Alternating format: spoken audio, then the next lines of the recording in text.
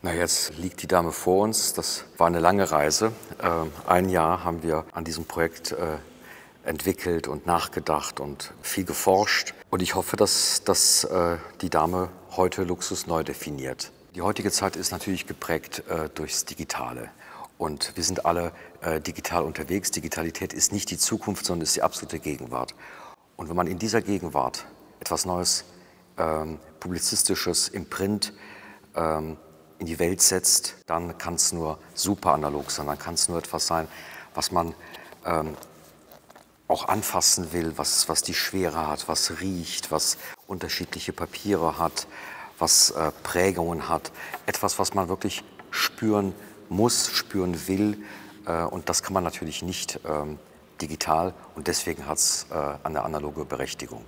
Die Dame hatte in den 20er Jahren immer eine äh, große Beziehung und, und fast schon Freundschaft äh, zu der künstlerischen Szene Berlins. Diese Tradition wollten wir umsetzen und weiter fortsetzen in der Gegenwart. Ich habe zwei sehr unterschiedliche Künstler gefragt, einen Fotografen und einen tollen äh, Maler.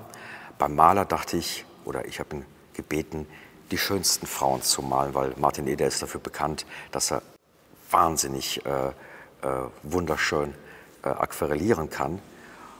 Und er hat gesagt, nein, ich male nicht für Damen, Damen oder Mädchen, sondern ich male Männer. Das erste Mal, dass er sowas gemacht hat.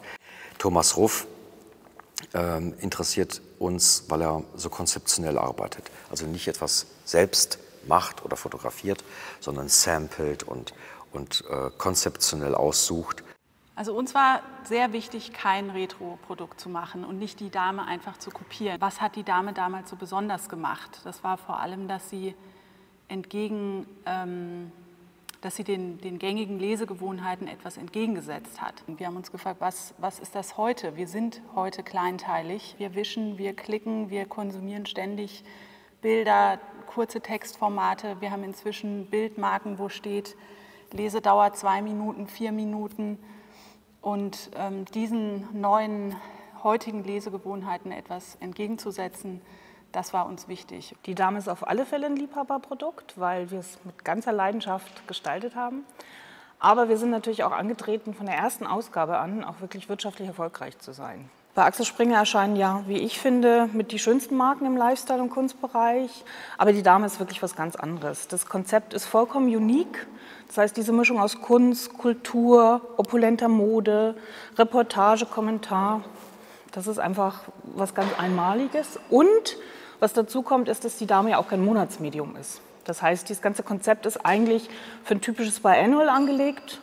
Und ich glaube, äh, deshalb unterscheiden wir uns ganz maßgeblich von anderen Marken des Hauses haben ganz viele verschiedene Leute an den Tisch gebracht, haben eben erstmal Christian Boros angesprochen als Herausgeber, haben dann mit ganz vielen der Welt Edelfedern zusammengearbeitet, äh, auf die Texte, die wir ganz stolz sind.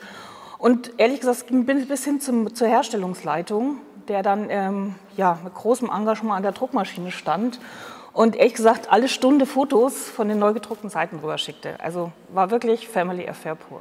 Wir sind als One-Shot angetreten, aber dieses unglaublich tolle Team und die Geschichten, die entstanden sind, das hat uns so beflügelt. Und dann kam auch noch dieser unglaubliche Erfolg im Anzeigenbereich dazu, dass wir jetzt sehr happy sind, weitermachen zu können und haben im Geiste schon die nächsten Geschichten für die Ausgabe 2 im Kopf.